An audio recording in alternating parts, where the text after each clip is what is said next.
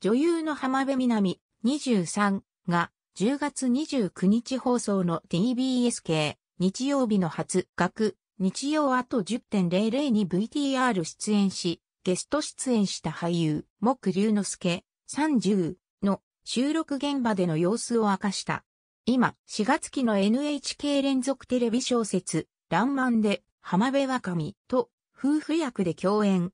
公開中の映画、ゴジラマイナス1.0、監督山高でも共演し、共同生活を送るようになる関、生を演じた。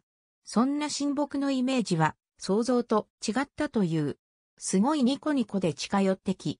こんにちは。かけ狂い、見てますよ。あれや、くださいよ。かけ狂ってるって。イメージとい、と思って。いろんな共演者らにそういった説、法をしているようで、そういうコミュニケー、4の取り方をされる方らしいんですけど、も話した。またある時は、こんなことも。新木さが、隣のスタジオの大河チームの知り合いがらっしゃるとは、久しぶり。